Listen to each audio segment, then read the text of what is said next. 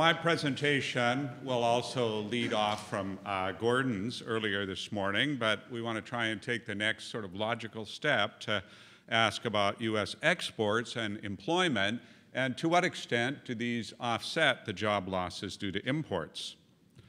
But let me start with some uh, familiar diagrams. Here's employment and manufacturing in the US and a couple of other countries. And we start to see this substantial decline beginning around the 1990s. Surely technology is a big part of that story. And these two decades from the 1990s to 2007 or 2011 will frame uh, the studies I talk about here. Here then is uh, what happened to the share of world merchandise exports, and we can see the big rise in China accelerating after its accession to the WTO in 2001. And here then is the very familiar diagram, figure one from Autor, Dorn, and Hanson. Uh, we have the decline in manufacturing employment as a share of the working age population uh, compared with the rise in Chinese imports as a share of US domestic consumption. Uh, and we can see Chinese imports rising. There's sort of an inflection point in 2001, just where these uh, curves, uh, where these lines happen to cross.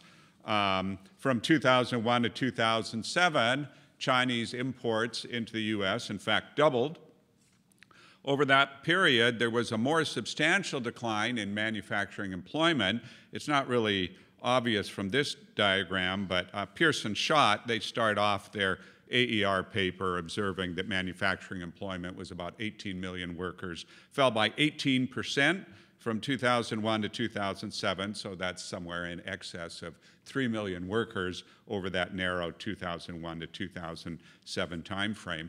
And so then we have the, the question, are these related? Uh, ADH, um, sort of the, one a, a, key motivation of their paper is to say, well, you can't really trust the, this time series, right? This, this time series, apparent time series correlation could be due to a lot of things. I already mentioned technological progress, reducing employment in manufacturing, and of course that arguably did account for a big part of the surge in China too. So if we really want to isolate the impact of Chinese imports per se on employment in the US, we want to go to that commuting zone level that they do. We want to look at Chinese imports across different industries, and then we want to look at the share of employment in different commuting zones accounted for by those industries. Look at those historic shares, those are the Bartik weights, and then we construct a kind of a, a weighted average measure of import penetration from China. And when ADH do that in a regression framework, I'll, I'll show you a, a, a, regression in a minute, they get these kind of results. Not much impact in the 70s or the 80s. We start to see a, a substantial impact. This is the effect of a $1,000 per worker increase in imports from China on the change in manufacturing employment. This is as a share of the working age population. So substantial impact in both the 1990s and in this 2000 to 2007 period. But of course, it's really in the latter period, 2000 to 2007, that these imports from China are growing so much. So in the latter period, if you multiply this regression coefficient by the observed increase in Chinese imports, you get job losses of about 2 million workers and that is very substantial, right? Because the drop in manufacturing employment over this narrow period, 2001 to 2007, was somewhat over 3 million. So this 2 million drop is a lot. Uh, and it's not just in uh, a, a, loss of jobs in manufacturing, you also have a shift of uh, workers to not in the labor force. So you do have a rise in unemployment, but also you have a substantial increase in workers who give up looking for a job. And finally, you do have some wage effects. Surprisingly, uh, somewhat bigger wage effects outside of manufacturing in services. Uh, these in, here in this chart, I also show you some regression coefficients on the impact of wages. Remember, this is primarily outside of manufacturing in, in services, and partly for that reason, it turns out that the biggest impact here is on females without college education. And I'll say a little bit more about services in a minute. Okay, so with that introduction, we then ask, what about exports? Right now, now Autor, Dorn, and Hanson, they did bring U.S. exports in to a limited degree because they looked not only at U.S. imports from China, they also looked at U.S. net imports from China, so imports minus exports. Uh, and they didn't actually get much action from comparing one with the other, from making that change. So my focus is really going to be on U.S. global exports. There's two papers I list here where we've looked at that. First one uses a, a regression framework that'll show you, very similar to Autor Dorn Hanson. Second paper uses a global input-output analysis. And then thirdly, I'll want to come back to the question, what about other sources of consumer gains in the United States due to lower prices from China, aside from employment gains per se? So here's what happened to U.S. global exports in real term over the 1990s and 2000s. They doubled. They doubled, whether you look at 1991 to 2007 or let's skip over the global financial crisis and take it to 2011. I was recalling, didn't the Obama administration have a goal of doubling U.S. exports? Well, they did double. I don't know exactly what their time frame was, right? But, but they have doubled. Um, and, uh, and then we also heard Chinese imports doubled over quite a short time frame, 2000 2007, but we sort of got a doubling in both here. Uh, you can already hear from the words I'm using, I'm okay with comparing US global exports with imports from China, even though that's kind of an asymmetric comparison. I, have been pressed to do a little bit more by referees and so on, and uh, so I have. You look at US imports from other sources, it just doesn't change the picture that much, right? It's US imports from China that's important. That China shock, the, the, the scale, the magnitude, the speed of that really makes a difference in the data. So I'll stick with that here uh, for this talk. And then on the export side, I mentioned and Gordon mentioned earlier, it's hard to get much impact from US exports to China alone ADH didn't find it made much difference, and part of the reason is what Gordon said, some of those are in services or services embodied in intellectual property and so on. Uh, so, uh, I mean, I have done some work in these papers uh, on, on exports to different countries, but for the most part, I will look here for my talk today, I'll be comparing U.S. global exports with imports from China. So here's what you get across commuting zones if we just look at the, the picture for a minute. Uh, it is the case, so the top one shows import penetration into different commuting zones constructed in the way that I, I referred to just a moment ago. And the bottom diagram shows export expansion or export promotion. Uh, these are exports, and this, again is a, a, a weighted average using your historic shares of production in industries, and then we use those to weight the, the U.S. export growth.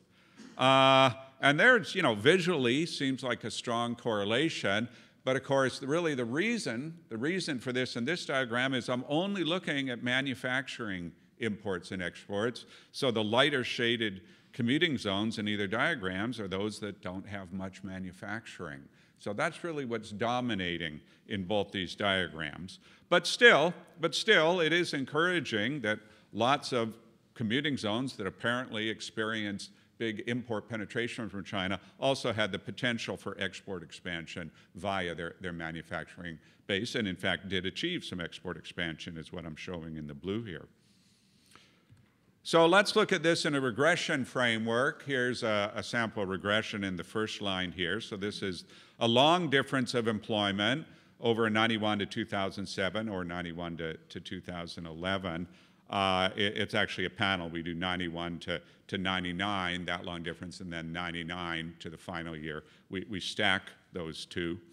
Uh, there's the regression coefficients on import penetration from China in the first row. They're negative and substantial. They're actually a bit, a bit larger when you're also including the export expansion term here, which I'm doing. These are uh, positive, uh, and they're, they're more positive, they're larger in magnitude in, in the longer period, 91 to 2011, when you include those years.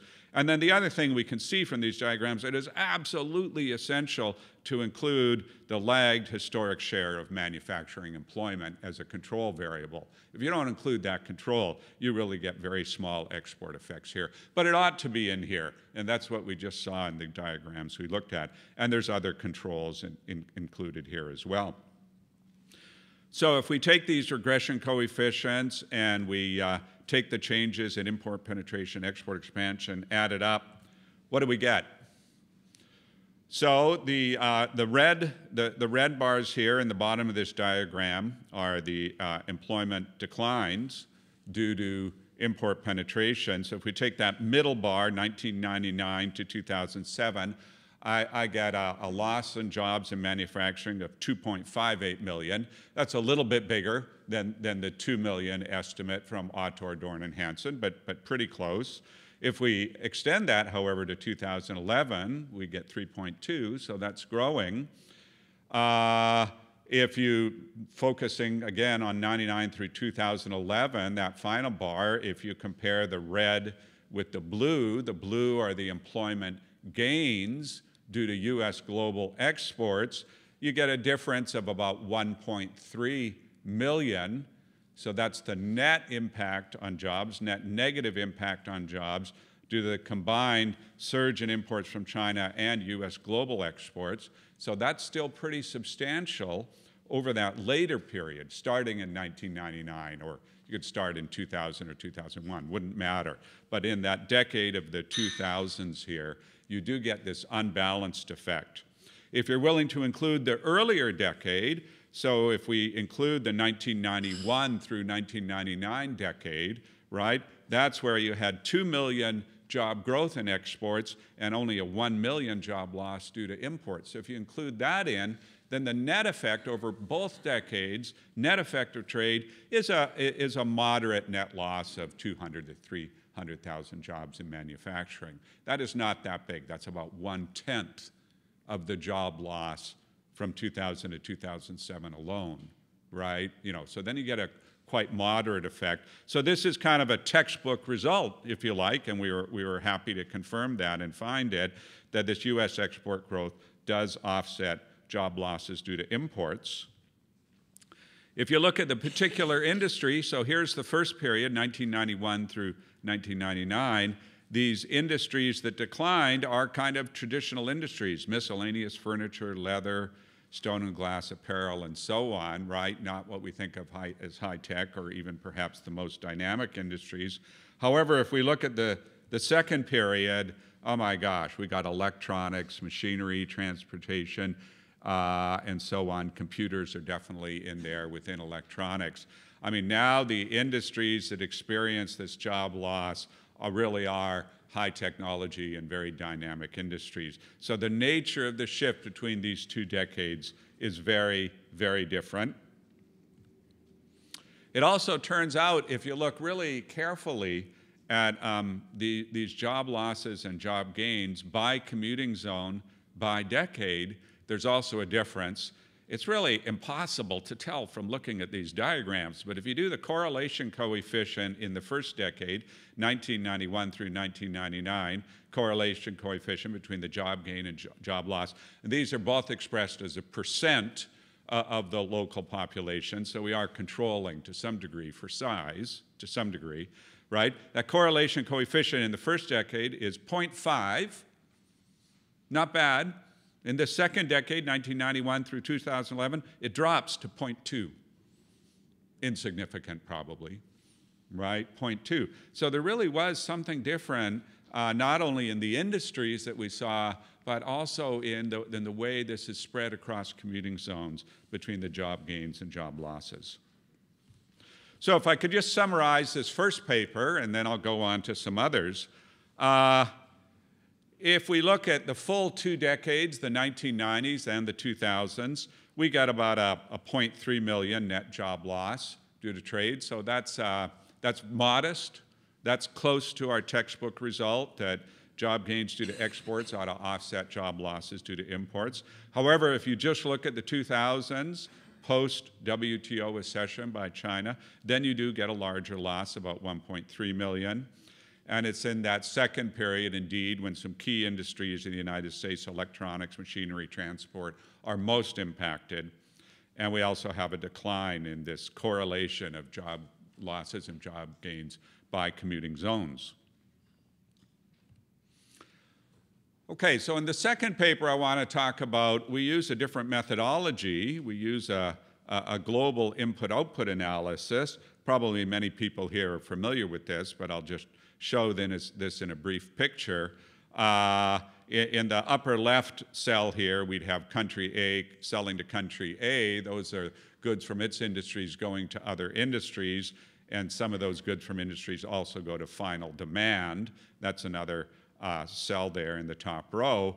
But we don't stop there. We also have country A selling to country B, country A selling to China as country C, and so on. So this is the, the global input-output analysis that most people here will be familiar with. So that's what we make use of. That's what we make use of. Uh, in, in, comparison with the regression analysis of Autor Dorn Hanson, well, this is a little easier you can sort of plug it through the input-output table and you, and you sort of know you're going to get substantial effects.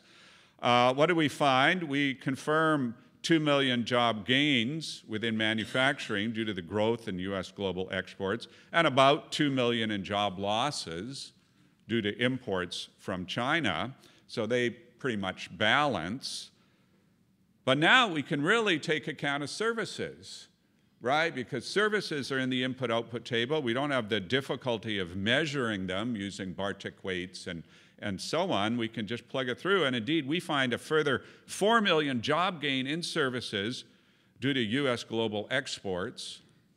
About one third of that comes from US exports in manufacturing and those upstream linkages to service. And about two thirds comes from US exports in services and then directly impacting employment and services. So it's 4 million job gains in the service sector due to the growth of U.S. global exports in services and manufacturing. So that is really big. And there's only a very small and inconsequential job losses due to service imports. So whereas manufacturing kind of balances out, in fact, you have a huge gain in services. I'd say you got 4 million more jobs created by U.S. exports and services through this input-output analysis. I can uh, show a few of these numbers more carefully. Um, in fact, let me just jump to this, this, this, this bottom one here. Here on the, the, the first column here, in manufacturing, I got that 1.99 or 2 million job loss. And uh, in resources, I also get a half a million, uh, excuse me, 1.99 million job gain due to exports. In resources, I also have a half a million job gain. And there in services, I have the further 4 million job gains for 6.5 million in total. Balance that against the 2 million job loss um, on the import side uh, which is predominantly in manufacturing, a little bit in, in other sectors. So again, uh, that 2 million job loss is, is pretty similar to what ADH find. It's, it, it, it, it's fairly close to what I found in that earlier paper, but now we have this big, big gain on the export side. Okay, so if we now broaden our canvas and say, well, what about other gains aside from job gains and exports? What do we find for consumer gains? So I show one paper here with uh, Mary Amiti and Mi Dai and John Romalis. Uh, and here we look at China's boost in exports, and we argue first, actually, we, we don't think that this was only due to WTO accession, right? This was the, uh, the key variable introduced by Pierce and Schott, the reduction in uncertainty as China uh, joined the WTO, reduction in uncertainty in the United States so it didn't have to receive an annual vote in Congress to receive normal trade relations. We find, sort of in, in contrast, that we think a big part of China's growth was due to its own reduction on tariffs on its own intermediate imports and then a productivity boost to its own industries. In fact, we think that's just as important as the reduction in uncertainty due to WTO entry. In any case, if you put the two of these together, and you say, what, what was the sort of the net impact on the United States? Now, we're, we're focu- we are focusing here on merchandise trade, right? Exclusively merchandise trade, especially manufacturing trade. But if you, you take our gains and you compare it to the entire US economy, okay, then you get a reduction in a US price index of one percentage point total from 2000 to 2007. That's not per year, that's total. So that's a, a 1% gains from trade, if you like. A little bit smaller than some of the estimates that Steve referred to of 2 to 8% that you'd get for the US. I'm in fully in agreement with those. But remember, we're only looking at one small piece of trade over a narrow period, 2000 to 2007. So we find that that reduction in prices in the United States is in part due to declines in China in the Chinese export prices by their own firms, but that also had a pro-competitive effect in reducing prices of other firms, U.S. firms, or other countries in the United States. And that finding is also supported, also supported by other re recent research studies. So let's take this one little piece. Think about this as sort of an empirical paper, if you like. We're just trying to track those Chinese goods as they come into the US. What are all the price effects? And now we put that into a, a, much more sophisticated computable general equilibrium analysis. So here's the work by Caliendo, Dvorkin, and Parro that Gordon also referred to, forthcoming in Econometrica. So this is a computable general equilibrium. They've got 50 states, 22 sectors. So as far as they're concerned, they have 1,100 labor markets, right, is the way they think about it. And then they have a very sophisticated model of worker choice over these 1,100 labor markets. Workers face costs when moving between markets. Those could be real costs due to lost wages, but they can certainly be psychic costs, right? It's just hard to move. It's hard to leave your industry. It's hard to leave your town. But these psychic costs can't be just anything. They're constrained by the data, right? They're disciplined by the actual mobility that we see. So it's essentially a discrete choice model of workers across the, all these regions, disciplined by the, the degree of mobility that we see across labor markets and, and regions. So they find in their study, uh, in, in the early version, 0.8 million manufacturing job losses due to the doubling of Chinese imports. They model that as a, a product, pure productivity increase actually not as due to WTO recession, just a pure productivity increase. A little bit consistent with my work with Mary Amiti and John Romalis that I just mentioned. Uh, in, in the more recent version, that 0.8 million manufacturing job loss is, is actually shaved down to 0.55 million. So I can't really explain just standing here why this isn't 2 million, why, why don't they don't get an ADH kind of number. But bear in mind that it's a, a very, very different model. Now, because they have this sophisticated model of worker choice between regions, they have costs of unemployment. Some of these workers can choose to be not in the labor force, right? They can try and you know, match that moment. And generally, workers are unemployed for a period of time before they find something else, if they find something else. So they do get positive gains from trade. Their gains are 0.6, six tenths of 1% of GDP. But uh, that's already shaved down by one quarter due to these transitional costs of unemployment. So that knocks a quarter off your gains from trade. Without that, gains would have been closer to 1% of GDP. And indeed, they're very dispersed across regions uh, and across industries. So here's the sectoral contribution to changes, think reductions in manufacturing unemployment, furniture manufacturing, computers and electrical goods, metals, textiles to a lesser degree. So an interesting mix of both the high-tech and the low-tech industries they've included. And here's uh, the regional contribution to the drop in manufacturing employment. And California is the biggest due to the uh, import competition in computers and electronics, followed by Texas. And then some of those other high bars are more uh, states in the heartland. So this, is, this diagram is very influenced by the size of the state. And then my final diagram, let's, let's look at welfare changes across labor markets, right? So these are states uh, that they're looking at here. Um, And it's a very heterogeneous response. Here I'm only looking at the positive welfare changes. I'm sorry, this, this, this, this, this, this curve was cut off. There is a very thin and long tail of negative changes, but it's in very few regions. It's in very few regions, right? So there is a thin tail of negative regions, but in most places they get these positive long run effects of this China shock. So if I could just uh, try and give an overall summary. Uh, we know from the work of ADH and, and other works by those uh, authors and others that the, the China shock ha had this effect on decreasing jobs in manufacturing. Around 2 million, if you look just at the 2000s, it's going to be somewhat bigger than that if you also include the 1990s. Uh, I'm arguing you get more or less comparable numbers and offsetting numbers, offsetting numbers, if you also look at exports, manufacturing exports, if you include service exports, then you got this pure $4 million job gain. That came from the input-output analysis.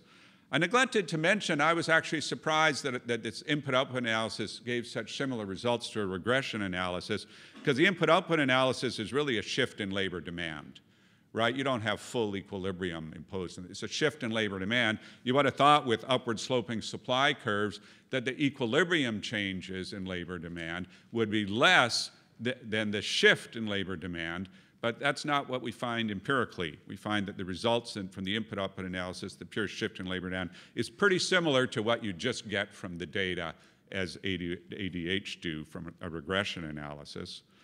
Uh, if you only look at the recent period, then in fact exports, US exports, do, do not offset the job losses.